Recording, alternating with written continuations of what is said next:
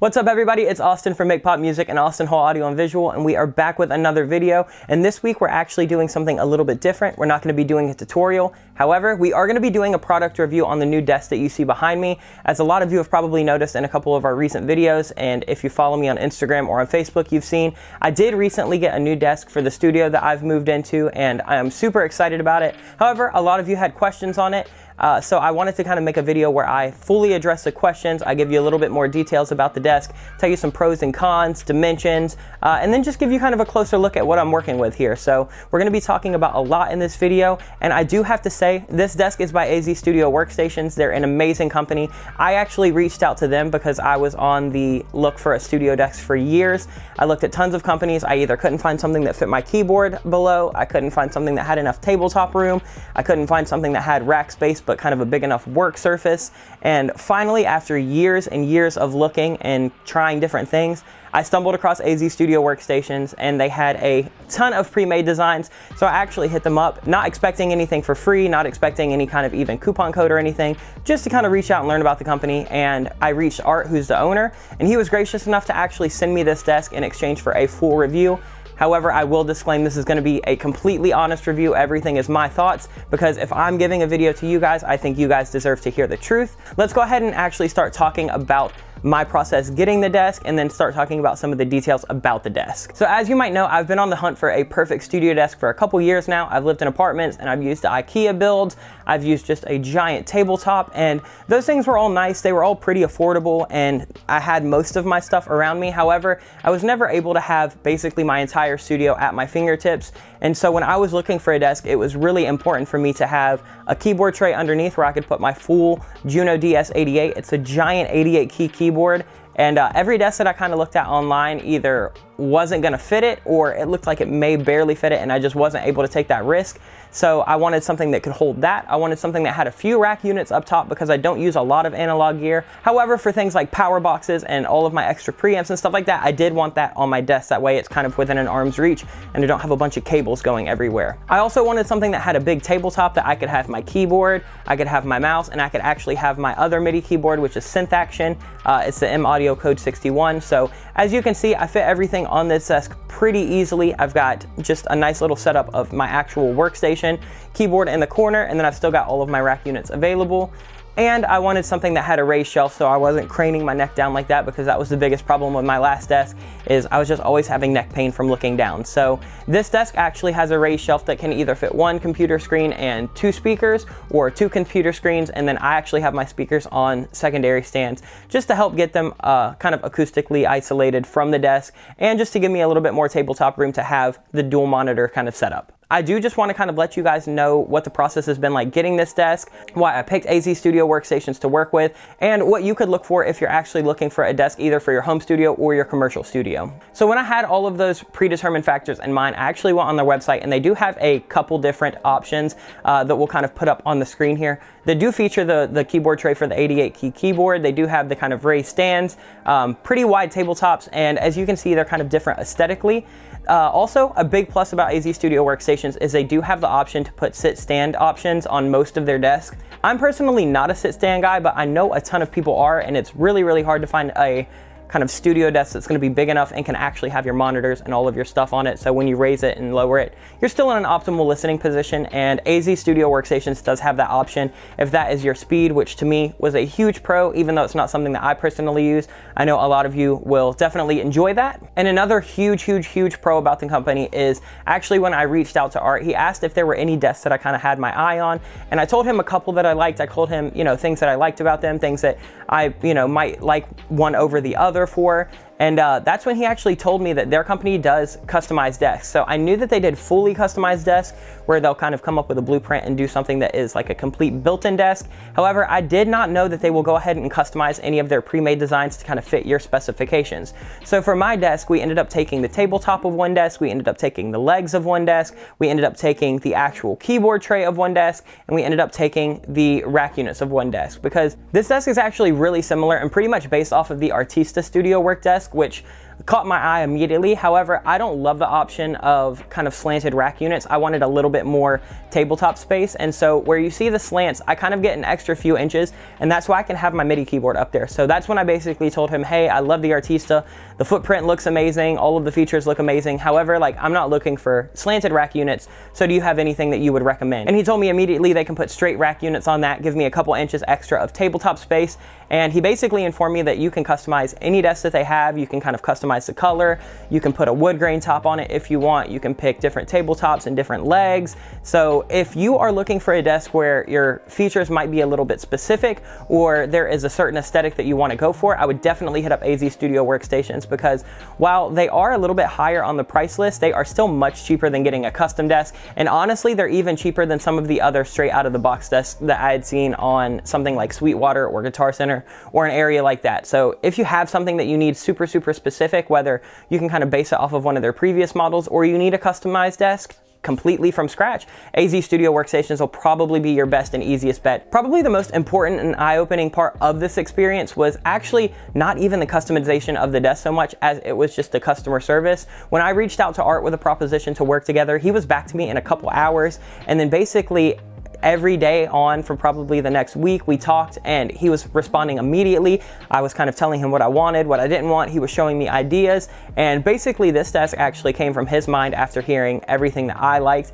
and he was just super responsive and really, really easy to work with. I really, really, really appreciate all of the support that they've given us. I appreciate all of the kind of attentive customer service care, and just the attention to detail that they've put in all of their products. All right, so we've talked about the actual customization layout of the desk, so I did wanna read you some of the actual final dimensions of what I'm working with so you can measure out your space and see if you've got room for a desk like this. Maybe you can go a little bit bigger, maybe you can go a little bit smaller. Again, with AZ Studio workstations, you can kind of make it fit um, no matter what your space has. So let's go ahead and just talk about the footprint. So the actual footprint this desk takes up is 32 inches deep by 61 inches uh, kind of wide. So it's much smaller than the last tabletop I was using, which was just basically an IKEA kitchen table. However, I fit so much more stuff on this because you do have the tiers and everything is ergonomically laid out specifically for a producer. The main tabletop is gonna sit about 31 inches high off the ground. So it is a little high for a tabletop. However, um, I'm short, I'm like 5'6", and to me this is still really no problem to work with, so most of you should be fine. The actual top shelf sits 36 inches high,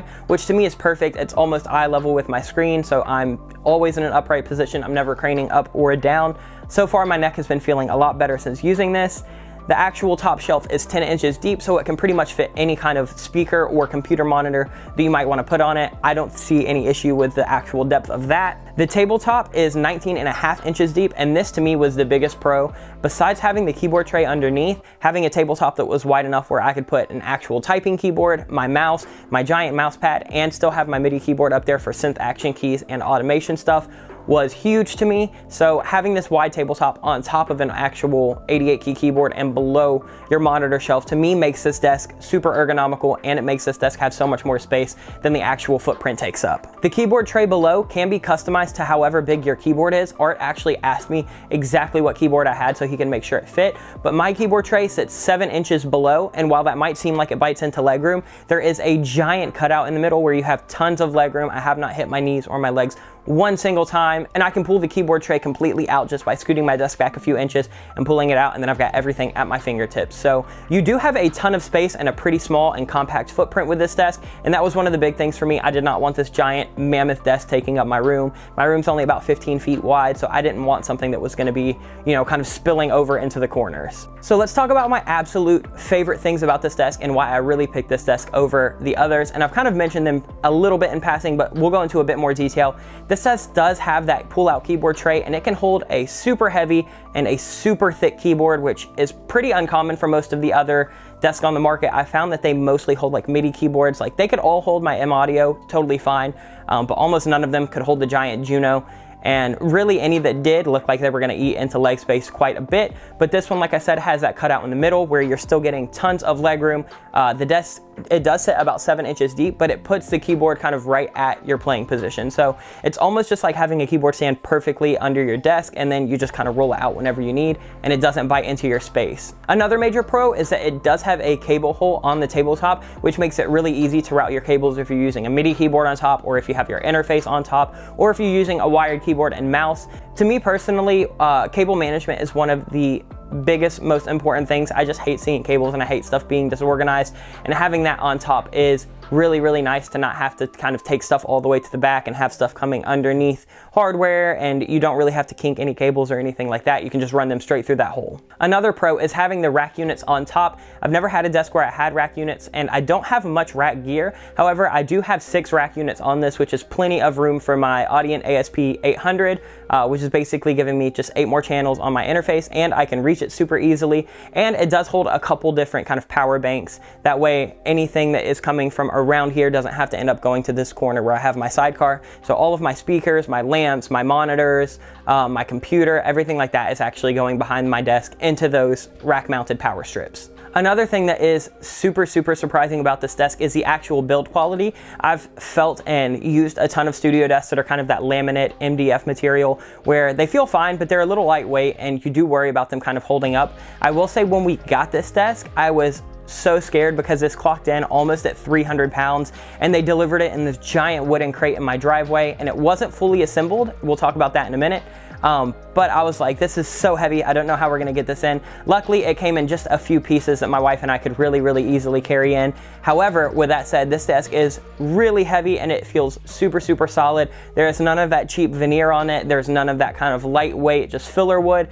Everything feels really, really solid and sturdy, and I don't get nervous about putting thousands of dollars worth of gear on top of it, which to me is a huge pro, especially if you're gonna be using really expensive gear or vintage gear that may be hard to replace. The ergonomics of this desk also make this desk prime for me. I love having my keyboard here, I love having a keyboard here, and I love having my kind of just typing interface and mouse right here. So to me, everything is kind of within an arm's reach. I like to basically stay put as I work because more time spent away kind of routing cables and doing stuff like this and you know, pulling a keyboard out, that kind of distracts me. So I really like to be able to just pull everything out, flip on the channel that I need to flip on and have everything ready to go. And this desk has honestly improved my workflow a ton over the past couple weeks. I've been making more music now than ever. I've been using my kind of Juno DS88 more now than ever. I never really used it before because it was over in a corner on a shelf and I would just never get up and go over to it and turn it on and actually play it and route it over. So having this and having everything within that arm's reach to me is an absolute game changer and I think it's something that I didn't fully realize the weight and the benefit of until I actually started using this. And I would say my last major, major pro is just the aesthetic of the desk. It is a really good looking desk. I went with black and then have the walnut top. So I do love how kind of timeless the wood looks on it. And then I love how modern the actual legs look with the slits. To me, this is that perfect mix of having something that looks classic and timeless with just a nice wood tabletop studio desk. And then having something a little bit more modern that you may see in something like an electronic studio or kind of modern studio where you do have the slanted legs with the cutouts. I didn't want something that was in the more kind of shiny, almost like plastic acrylic looking uh, finish. But if you do, I'm pretty sure they could probably work out that kind of finish for you. I just wanted to go with the black wood and then the actual walnut finish on top. Now let's get to the not so fun part and talk about the actual one con that I did have with the desk. And this is something that can be easily remedied. And honestly, if I would have made a point to kind of say this in the build process, I'm sure Art could have had them customize something on this for me. But that is the cable management on the back. I do wish it kind of had a cable run either underneath the front of the desk or kind of just a tray that hangs off the back where I could run all of my cables cables from, you know, this monitor over here to this monitor to my sidecar. Um, so I will say cable management on the back was lacking just a little bit, but again, if you let them know that's something that is important to you, I'm pretty sure they can probably work something out to where they can incorporate that in the desk. With that said, I was able to easily remedy that for like $10 with these strips that I found on Amazon. They're basically just these kind of adhesive strips that you can put on the back or on the front of anything, and then I just run my cables through those. So I will say it is not the biggest deal that it did not have them. However, it would have been nice to just have all of that cable management integrated in the desk so I never have to worry about it falling or rerouting stuff. But that is my only con so far. So out of all the pros with that, not a deal breaker for me. All right, so let's talk about the actual assembly and kind of how it came. So as I mentioned before, it did come in a giant wooden crate It was super, super heavy. I had them drop it off in my driveway. I do live in a house, so if you live in an apartment, this might be something to consider. Have an area where they can drop off the crate and you can open up the crate and kind of take everything out piece by piece because it is super big and super heavy. So with that said, I did get a little worried because I'm not great at putting together furniture and this desk was so heavy. I was worried about actually assembling this. I think it came in five pieces if I can remember correctly.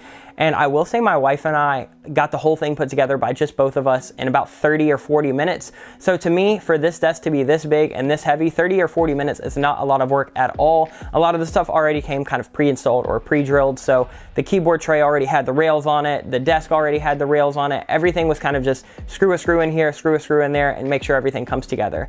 And after getting this together, I will say I would rather carry this piece by piece into my studio and assemble it in place rather than this desk come fully assembled and then me figure out how to get this giant 250, 300 pound desk actually in a door, in a studio, and in position. So while that may be a con for some, to me, it was actually a pro that I didn't know was going to be a pro until it actually happened. I will say though, if you don't have somebody to help you with the desk, putting this together is going to be extremely difficult. So if you have a friend or a relative or a spouse or anything like that who can just pop in for 40 minutes to help you, it is a pretty easy job with two people. And that's pretty much everything that I wanted to kind of address with this video. Between everything I've said and all of the different B-roll we've showed overlaid, you should have a pretty good kind of view and understanding of the desk that I'm working with. Once again, thank you so much to our AZ Studio Workstations for taking the opportunity to work with me and kind of let me highlight this desk for all of you. I know I've gotten a ton of questions on it. So if you have any further questions about my desk or if you have any further questions about my experience working with the company, definitely let me know in the comments below and I will answer anything. If you do want any more information on this desk, you can go to a blog post that we actually linked in the description below. But that's basically our full review of this desk. Once again, thank you so much to Art for reaching out and thanks for working with us, AZ Studio Workstations.